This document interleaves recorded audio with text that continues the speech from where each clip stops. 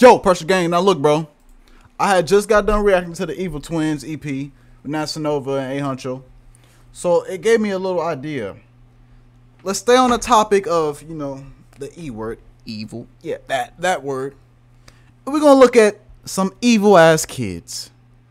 Cause I gotta know what these what From twisted motives to unimaginable violence, this video of the most evil kids in the world uncovers the horrifying crimes committed by children who are capable of unspeakable acts. Prepare yourself for a shocking to journey as we delve into the It's 15, disturbing stories so- of 15 young perpetrators, examining the depths of their depravity and how their actions leave you questioning the very nature of evil. stop it when it gets Jasmine to like seven or eight. Richardson. Or it might In the watch the quiet town thing. of Medicine Hat, Alberta, Canada, a gruesome and shocking crime took place that would forever haunt the community. It was April 23rd, 2006, when the lives of the away Richardson family were brutally cut short in their own home. Mark Richardson, a 42-year-old father, Deborah Richardson, a 48-year-old mother, and their 8-year-old son, Tyler Jacob, fell What? victim to a horrifying act of violence that would send shockwaves through the nation. The scene was one of unimaginable horror, as the couple had been brutally stabbed to death in the basement and their young son found dead upstairs. Oh the absence of their 12-year-old daughter, Jasmine Richardson, added to the confusion and fear. Bro,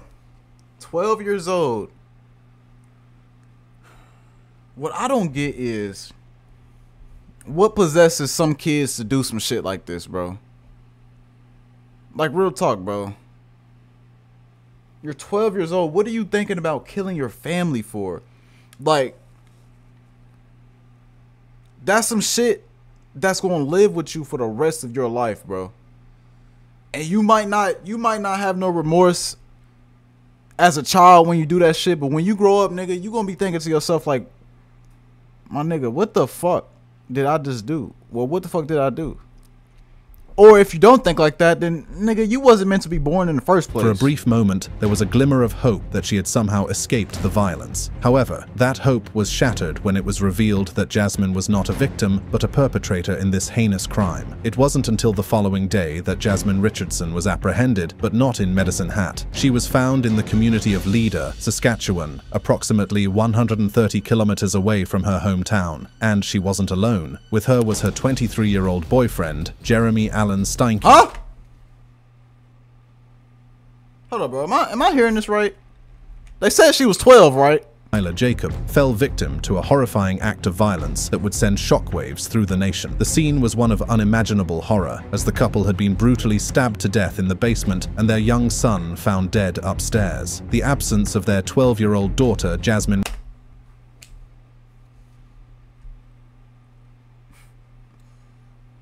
My nigga.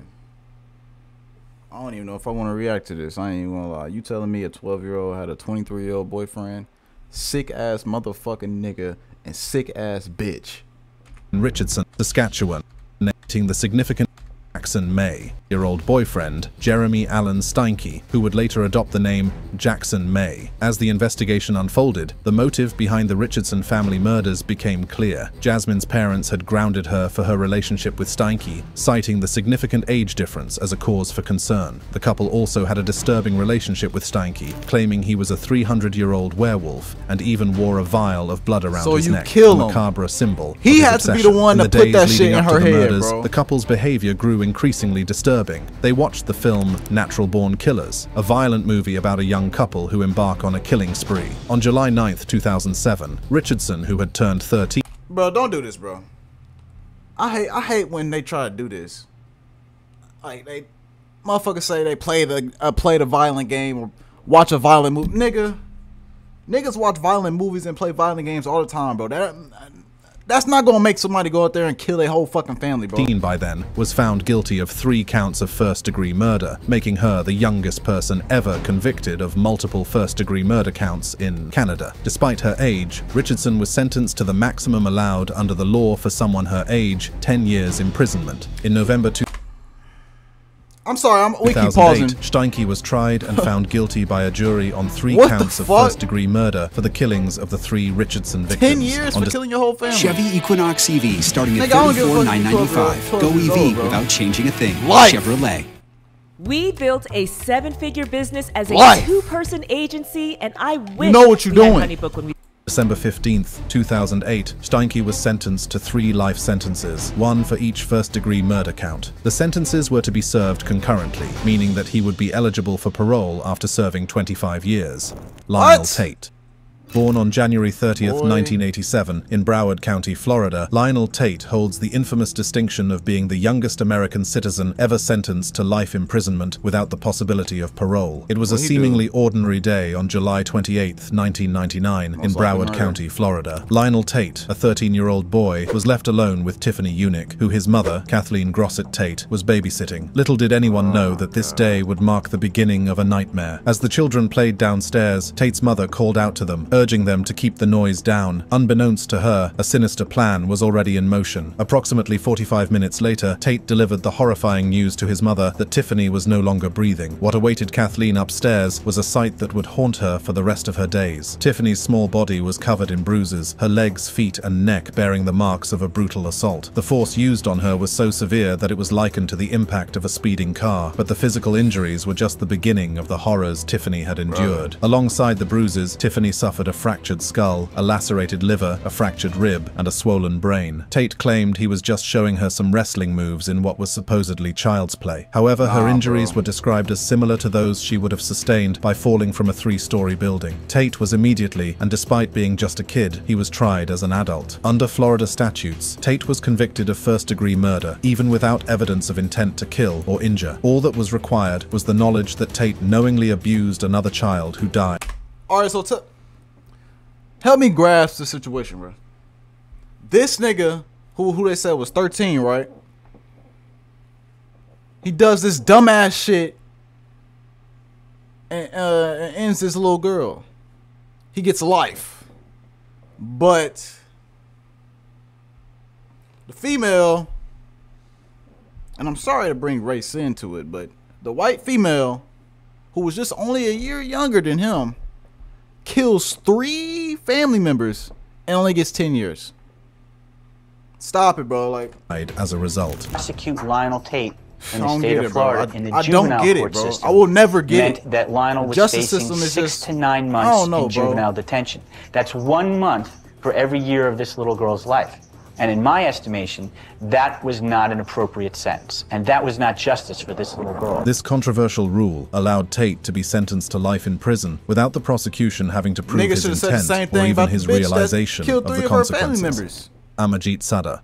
In the dark annals of crime, some stories defy comprehension and shake us to our core. One such story is that of Amajit Sada, the world's youngest serial killer. Born in the village of Mushahar What? in Bihar, India, Amajit's name is synonymous with unimaginable evil. From an early age, Amajit displayed a solitary nature, often preferring to spend his time alone. It was during a visit from Amajit's aunt, who had recently found a job in the city, that the first signs of Amajit's sinister nature emerged. His aunt, unable to care for her own child while she settled into her new job, asked Amarjit's family to look after the baby. With his mother needing to go to the local market, Amarjit was left in charge of his cousin and his younger sister. It was during this time that Amarjit's true nature began to reveal itself. He started by pinching and slapping the baby, finding amusement in her cries. But as the baby's cries escalated, so did Amarjit's actions. For reasons unknown, he decided to raise the bar and put his hands around the baby's throat, depriving her of breath until she did. When Amarjit's parents later discovered what he had done, they decided to keep the incident a secret instead of involving the authorities. Tragically, What? this would not be the end of Amarjit's dark Why? journey. His next victim would be his own eight-month-old sister. As his parents slept, Amarjit strangled his innocent sibling, snuffing out her life without remorse. that's what happens it wasn't until take proper authority, 2007 that They gonna keep Amarjit's doing this crimes would finally come to light. His final alleged victim was a six-month-old baby girl named Kushbu. The baby's mother, a neighbor, had left her daughter sleeping at a local primary school. When she returned, she was met with a mother's worst nightmare. Her baby was missing. However, under mounting pressure and scrutiny, Amajit's parents eventually videos, allowed their son to confess to the unimaginable. Amajit admitted to strangling Kushbu, hitting her with a brick, and burying her in a shallow grave. Astonishingly, Christ. he was able to lead the police to the exact spot where he had hidden her lifeless body. The truth of Amajit's crimes was finally exposed, sending shockwaves through the community and the nation as a whole. Instead of facing a traditional trial, Amajit was placed in a remand home, where he would receive the necessary care and treatment until he turned 18. It was determined that he suffered from conduct disorders, a psychiatric condition characterized by a persistent pattern of violating the rights of others and disregarding societal norms. In 2016, upon turning 18, Amarjeet was released from the remand home. The decision to release him was met with mixed reactions from the public. could Some believed again, that he had served his time and should be given a chance at redemption, while others feared that he posed a continued threat to society. The current whereabouts of Amajit Sada remain unknown. It is believed that he was given a new identity to protect him from potential That harm and to allow now, him to start afresh. However, the question of whether someone with such a dark past can truly be rehabilitated lingers in the minds of many.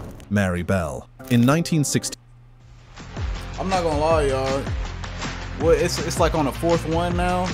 Yeah, we're gonna get to seven, and we're gonna, we're gonna, we're at gonna the tender age of video, 10, bro. This- Mary this Bell committed a series nigga. of unimaginable crimes that would forever brand her as the most evil kid in the world. Strangling her victims with a cold and calculated demeanor, she left behind haunting confession notes that sent shockwaves through her community. The details of her crimes haunting confession notes that sent What this say?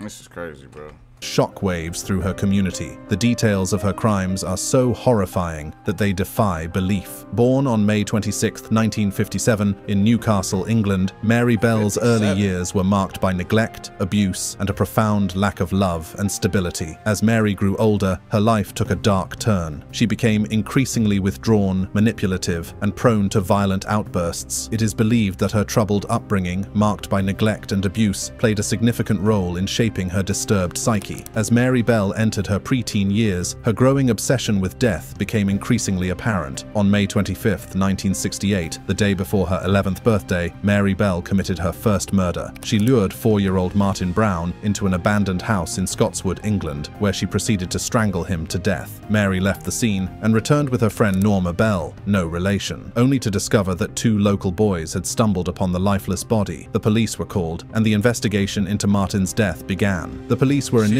mystified by Martin's death. Besides a small amount of blood and saliva on his face, there were no What what I'm getting from here is that most of these most of these kids, bro, are killing kids younger than them. I don't know how the fuck the first girl was able to kill both of her parents. I don't I bro.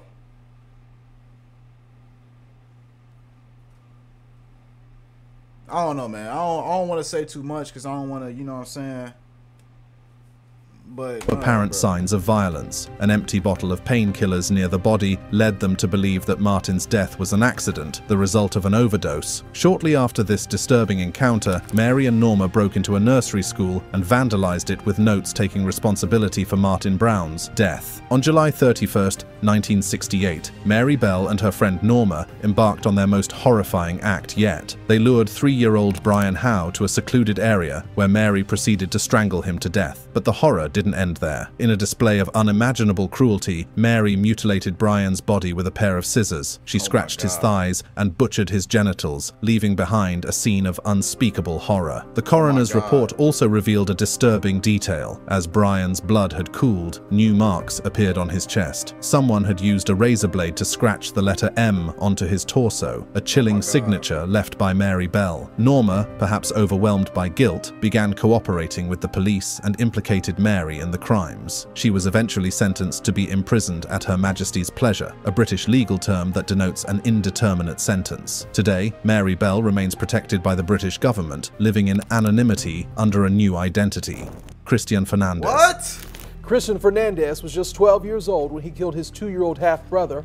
According to Toddler, died from head injuries when Fernandez slammed him into a bookshelf in their apartment. The story begins with a seemingly ordinary family living in a modest home on Alden Road. David Galarraga, a sweet and innocent toddler, was the apple of his mother's Man, eye. bro, but behind is- closed doors, a sinister secret tough, was brewing. man. In January of 2011, This David's leg was react to. mysteriously broken. His mother, Biannela Susana, claimed it was just a jungle gym accident. However, this would be the first sign of the darkness that was about to consume their lives. Yeah, then, right. on that I ain't gonna lie. aside from the first the first one, nigga, it starts with the parents, bro. The first kid they was talking about, the parents were actually trying to do something about their child, whatever situation they was in. The other, I can't say it. It starts with the fucking parents, my nigga. Fateful day in March, everything changed. Biannela made a frantic call to the police, claiming that David had fallen at their home. But the truth was far more sinister. When the authorities arrived at the hospital, they were met with a sight that would haunt them forever. David lay motionless, his tiny body battered and broken. His skull was fractured, his brain bleeding, and his eyes and nose bruised. Medical experts would later estimate that his head and face had been struck more than a dozen times. It was a level of brutality that defied comprehension. As the investigation unfolded, the shocking truth about his elder half-brother Christian Fernandez began to emerge. While the story of what exactly happened is unclear, Christian admitted that he had become violent towards the toddler and roughly shoved him into a bookshelf your too. In fact, Christian had been the one to break the toddler's leg just a few months Why before the gruesome murder. like? He was sitting like this, and then how did you do his legs so we can understand what happened? Did you hear a snap or something? Did you hear a pop? Well, sort of. However, what was more disturbing was the fact that Bianca, bitch. upon arriving home, waited for more than four hours before seeking medical attention for her son. At just 12 years old, Christian was charged as an adult with first degree murder and aggravated child abuse. After months of legal battles and public outcry, a plea agreement was reached. Fernandez, now 14 Nigga, I'm years so old, fucking stood mad, before bro. Circuit Judge Mallory Cooper and pleaded guilty to manslaughter and aggravated battery. This I'm so conviction made him the youngest person to be charged as an adult in the history of Jacksonville. This meant that he would serve approximately seven years for the manslaughter charge. Kyle Alwood, A nine-year-old boy.